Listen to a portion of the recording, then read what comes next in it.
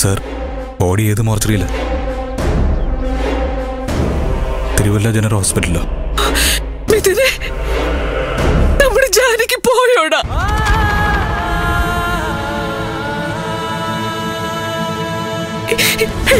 എനിക്ക് അവളെ കാണണം ഇപ്പൊ തന്നെ കാണണം. എന്നെ അവളുടെ അടുത്തേക്ക് കൊണ്ടുപോ. ജാനകിക്ക് എന്താ പറ്റിയത്? ഒന്നുമില്ല ലച്ചു. നീ കള്ളം പറയണ്ട. അവൾ ജനറൽ ഹോസ്പിറ്റൽ മോർച്ചറിയിലാണെന്ന് നീ പറയുന്നത് ഞാൻ കേട്ടു. Hello? Hello? Hello mister Mithun. കേൾക്കാം സർ. ആ വീട്ടിലെ സിറ്റുവേഷൻ എനിക്ക് ഊഹിക്കാം. ഞാൻ മോർച്ചറിയിൽ നിൽക്കുന്ന പോലീസുകാരനെ വിളിച്ച് ബോഡിയുടെ ഫോട്ടോ എടുത്ത് അയക്കാൻ പറയാം. താങ്കൾ അത് നോക്കി ഐഡന്റിഫൈ ചെയ്താൽ മതി. ശരി സർ. Thank you. ആ ഓക്കെ.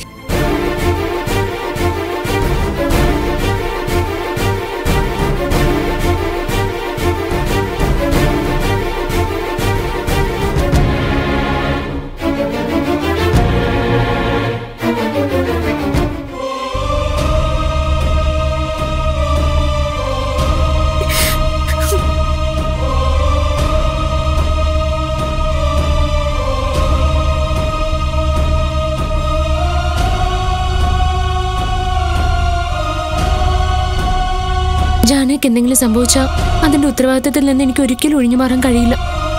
എന്റെ വീട്ടിൽ താമസിക്കുമ്പോൾ ഞാൻ കൂടുതൽ ശ്രദ്ധിക്കേണ്ടതായിരുന്നു. എല്ലാത്തിനും കാരണക്കാരി ഞാൻ. അന്യ വീട്ടിലേക്ക് അവളെ ഞാൻ അയക്കാൻ പാടില്ലായിരുന്നു. അവളെ കല്യാണത്തിന് സമ്മതിച്ചപ്പോഴെങ്കിലും അവളെ അവിടെ നിർത്താതെ ഇങ്ങോട്ട് കൂട്ടിക്കൊണ്ട് വരേണ്ടതായിരുന്നു. നിങ്ങളുടെ ഈ സംസാരം നിർത്തുന്നുണ്ടോ? ഒരു ഡെഡ് ബോഡി കിട്ടിയെന്ന് പോലീസ് പറഞ്ഞതോടെ അത് ജാനകിയാണെന്ന് നിങ്ങളങ്ങ് ഉറപ്പിച്ചോ? പറയാൻ. അത് അവളാണെന്ന് നിങ്ങൾ തീരുമാനിച്ചോ? ഞങ്ങൾ അങ്ങനെയൊന്നും ഉദ്ദേശിച്ചില്ല മിഥുനേട്ടാ. നിങ്ങൾക്ക് സംശയം കാണും. അവളാണോന്ന് നിങ്ങൾക്ക് പേടി കാണും. പക്ഷെ എനിക്കതില്ല.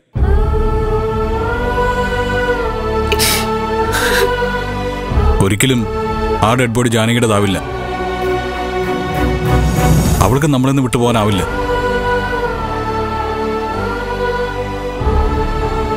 ആത്മഹത്യ ചെയ്യാനായിരുന്നെങ്കിൽ അവളത് നേരത്തെ ചെയ്യേണ്ടതായിരുന്നു. അത്രയ്ക്ക് അനുഭവിച്ചിട്ടുണ്ട്. ഉറ്റവരും ഉടയവരും ഓരോരുത്തരായിട്ട് വിട്ടുപോയപ്പോഴും പിടിച്ചു നിന്നവൾ അവൾ. അങ്ങനെയുള്ള അവൾ ഒരിക്കലും ആത്മഹത്യ ചെയ്യില്ല. പ്രത്യേകിച്ചും കള്ളി എന്ന പേര് ദോഷത്തിന്റെ പേരിൽ. ആരോപണം ഉന്നയിച്ചവർ വെറും കൊള്ളക്കാരാണെന്ന് വ്യക്തമായിട്ട് അറിയാവുന്നവൾ അവൾ.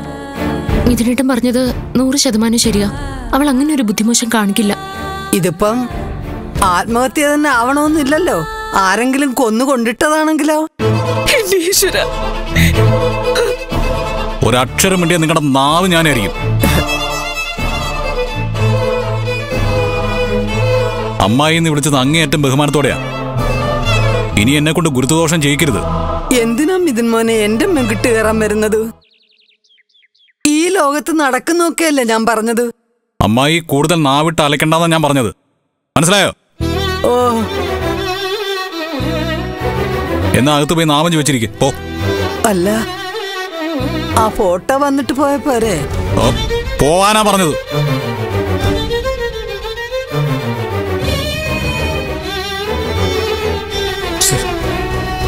എന്താ ഫോട്ടോ അയക്കാൻ താമസിക്കുന്നത്?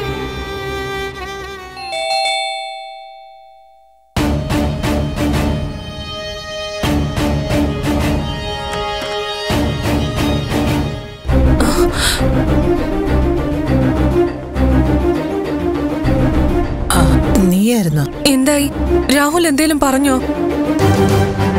നീ അകത്തേക്ക് വാ മോളെ. നമുക്ക് അകത്തിരുന്ന് സംസാരിക്കാം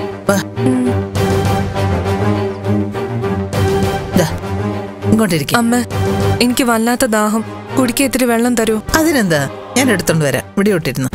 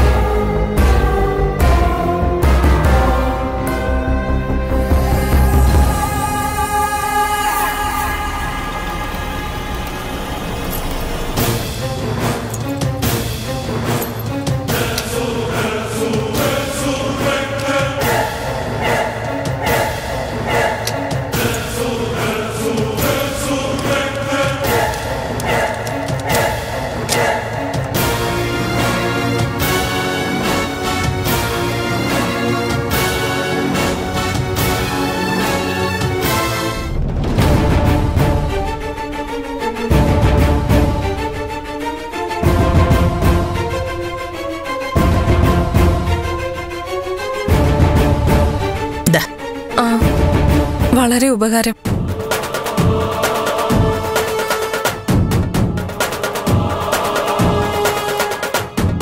എന്റെ കാര്യത്തിൽ എന്തെങ്കിലും തീരുമാനമായോ? ആകെ പരിതാപകരം എന്റെ അവസ്ഥ? വീട്ടിലിരുന്നിട്ട് മനസ്സമാധാനമില്ല ബുദ്ധിമുട്ടുകൾ എനിക്ക് മനസ്സിലാകുന്നുണ്ട് കുഞ്ഞെ. പക്ഷെ എന്ത് ചെയ്യാനാ മോളെ? ഞങ്ങൾക്കൊന്നും ചെയ്യാൻ പറ്റില്ല. മോളോട് അന്ന് പറഞ്ഞത് സത്യവാ. ഇവിടെയുള്ളത് രാഹുലല്ല സൂര്യനാ. രാഹുൽ അവൻ മരിച്ചുപോയി മോളെ. എന്റെ സ്ഥിതി അമ്മയ്ക്ക് അറിയില്ല. അമ്മയെ പോലൊരു അമ്മ മാത്രം എനിക്കുള്ളത്.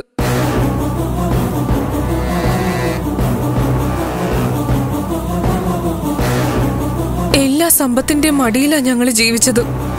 പക്ഷെ രാഹുലിന്റെ ചതി കാരണം ഞങ്ങളിപ്പോ ചേരിയിലാ താമസിക്കുന്നത് അമ്മയ്ക്ക് കേക്കണോ തീരെ ഗതിയില്ലാത്തോണ്ട് എന്റെ അമ്മയും ഞാനും തൊഴിലുറപ്പ് പദ്ധതിക്ക് പോയിട്ടാ ജീവിക്കുന്നത് അതിന്റെ കൂടെ അമ്മയ്ക്കൊരു ബ്രെയിൻ സർജറിയും വേണം. അതിന് ഏതാണ്ട് എൺപത് ലക്ഷം രൂപ വരെ ചെലവ് വരും. ആ പണം സംഘടിപ്പിക്കാൻ ഞാൻ വിചാരിച്ചിട്ട് യാതൊരു വഴിയുമില്ല ഞങ്ങളുടെ സ്വത്ത് തിരികെ കിട്ടിയ അത് വല്ല ബാങ്കിലും പണയം വെച്ച് സർജറിക്കുള്ള പണം കണ്ടെത്താം. അമ്മ എങ്ങനെയെങ്കിലും എന്നെ രക്ഷിക്കണം. അമ്മ കൂടി ഇല്ലാതായ എനിക്ക് ഈ ലോകത്ത് ആരും ഇല്ലാതാവും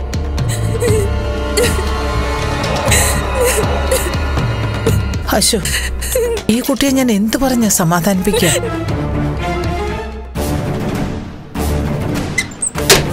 ആ മോൾ.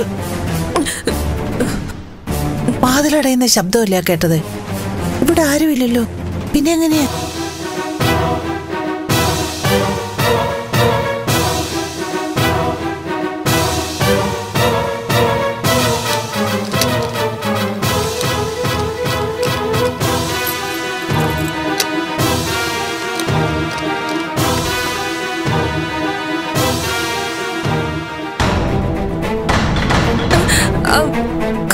തടഞ്ഞതായിരിക്കും.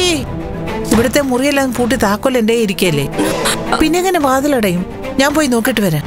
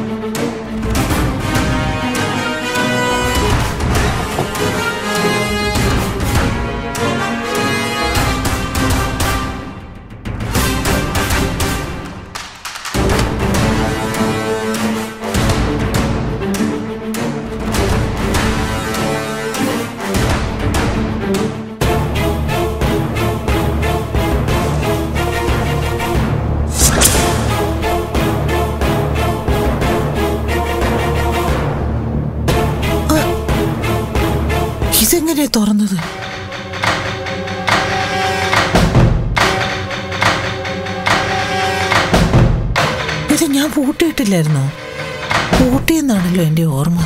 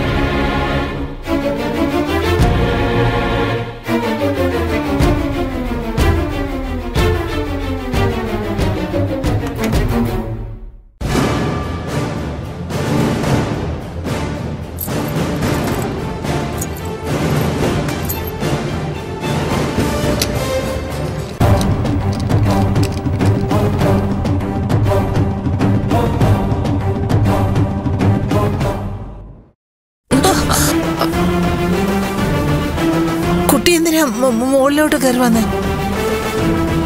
എനിക്കവിടെ ഇരുന്നിട്ട് സ്വസ്ഥത കിട്ടുന്നില്ല. അതാ അമ്മയുടെ കൂടെ കയറി പോകുന്നത്.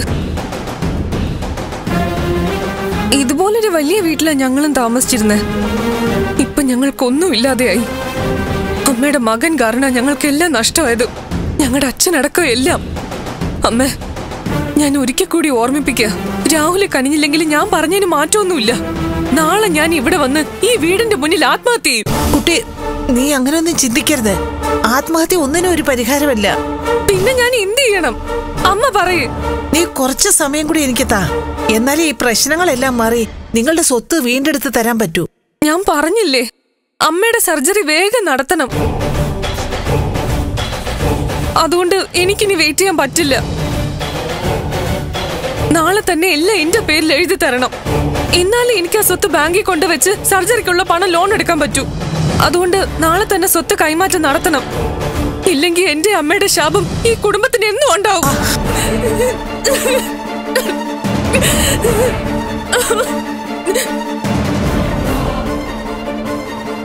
നാശം. ഇനി ഞാൻ എങ്ങനെ പുറത്തിറങ്ങും?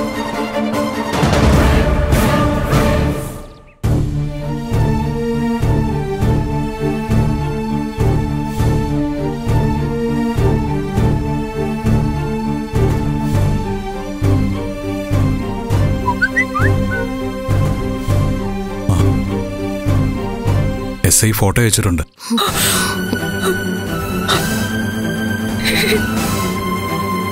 ഇത് ഡൗൺലോഡ് ആവുന്നില്ലല്ലോ. ചില നേരത്തെ ഇവിടെ നെറ്റ് തീരെയില്ല. എനിക്കത് കാണാനുള്ള ശക്തിയില്ല മോളെ.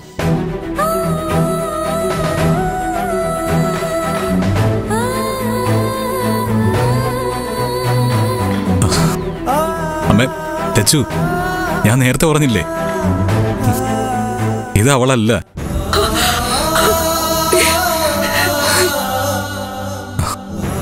നീ നോക്ക്.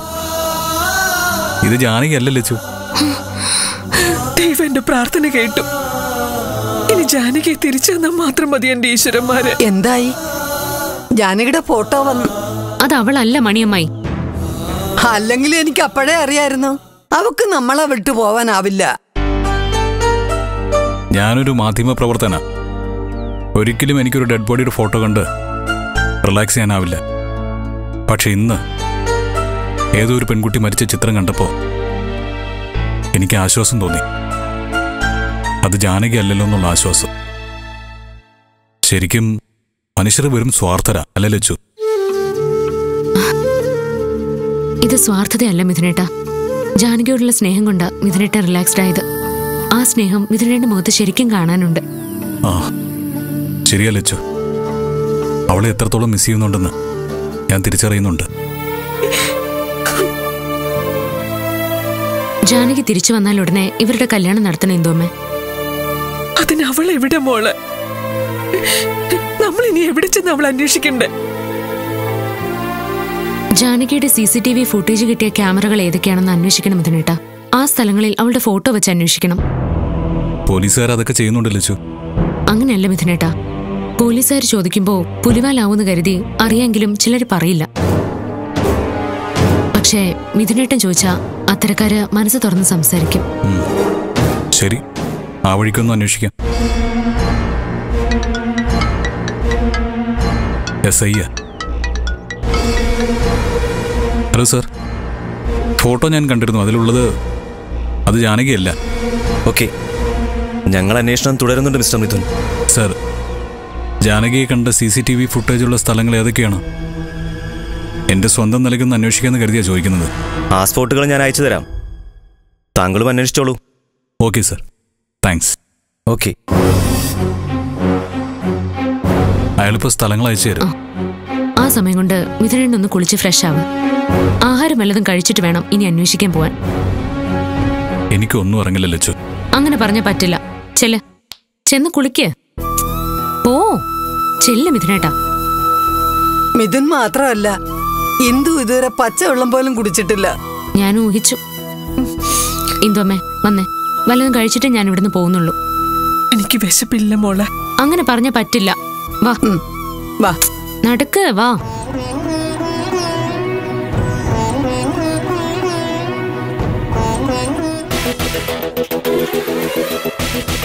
നീ എങ്ങനെ അവിടെ നിന്ന് രക്ഷപ്പെട്ടു?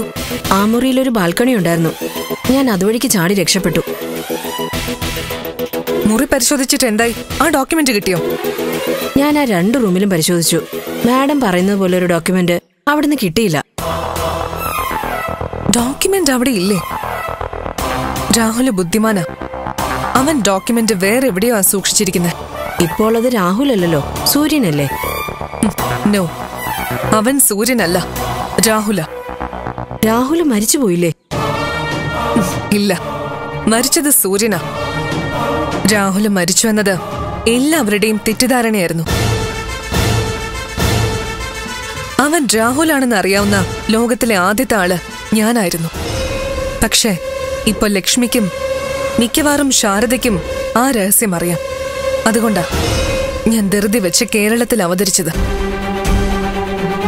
ഞാൻ കരുതിയത് അയാൾ സൂര്യനാണെന്നോ? എനിക്കത് തോന്നി. അവസരം വരുമ്പോ ഇത് നിന്നോട് പറയണമെന്ന് കരുതി ഇരിക്കായിരുന്നു ഞാൻ. അല്ല മാഡം ആ ഡോക്യുമെന്റ് അയാൾക്ക് കിട്ടിക്കാണോ?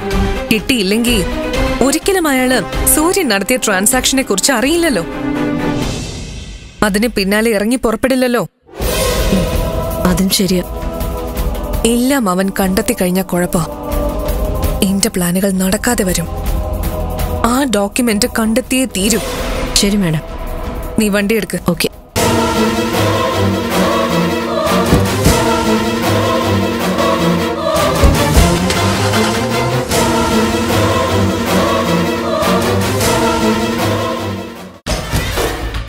അതെ നമ്മൾ കരുതുന്ന പോലെയൊന്നും അല്ല സൂര്യൻ. അതെന്താ? വല്യച്ഛനിപ്പോ അവരോടൊരു കൂറ്? എടാ സൂര്യൻ വീണ്ടും വൈശാഖന് ശാരദാസിൽ ജോലി കൊടുത്തടാ. വൈശാഖ് വീണ്ടും ശാരദാസി കയറിയ ആ. ലക്ഷ്മി വേണ്ടെന്ന് പറഞ്ഞതല്ലേ? എന്നിട്ടും സൂര്യൻ അവന് അവിടെ ജോലി കൊടുത്തു. സൂര്യൻ അവനവിടെ ജോലി കൊടുക്കണമെങ്കിൽ അതത്ര എളുപ്പമല്ലല്ലോ. എന്ത് പറ്റി? അവനിങ്ങനെ ഒരു മനംമാറ്റം ഉണ്ടാകാൻ എന്താ കാരണം? കുടിച്ച വെള്ളത്തിൽ വിശ്വസിക്കാൻ കൊള്ളില്ലെന്ന് പല പ്രാവശ്യം തെളിയിച്ചവനവൻ. അവൻ ഇങ്ങനെ ഒരു മനംമാറ്റം ഉണ്ടാകണമെങ്കിൽ ഇതിലെന്തോ ചതിയുണ്ട്. നമ്മുടെ നീക്കങ്ങൾ അറിയാനുള്ള അവന്റെ ശ്രമം. അത് തന്നെ. അതിനെ ചാൻസ് ഉള്ളൂ. അത് നിങ്ങൾ പേടിക്കൊന്നും വേണ്ട. അങ്ങനെയൊന്നും വൈശാഖിലൂടെ നമ്മുടെ രഹസ്യങ്ങൾ പുറത്തു പോകില്ല. അവൻ ബുദ്ധിമാനാ. അതിബുദ്ധിമാൻ പൊന്മാൻ. അവനെ പമ്പര വിഡ്ഢിയാണ് പമ്പര വിഡ്ഢി. വല്യച്ഛനും വിഡ്ഢിയായതുകൊണ്ടാണ് അവനെ ബുദ്ധിമാനെന്ന് വിശേഷിപ്പിക്കുന്നത്. മുരളി നീ വെറുതെ എനിക്കും എന്റെ മകനും എതിരെ മെക്കിട്ട് കയറാൻ വരല്ലേ? നീ എന്നും ഇങ്ങനെ എന്നെ മോനെ അപമാനിച്ചാലേ ഞാനും അവനും നിങ്ങളെ വിട്ട് ഞങ്ങളുടെ വഴിക്ക് പോവും.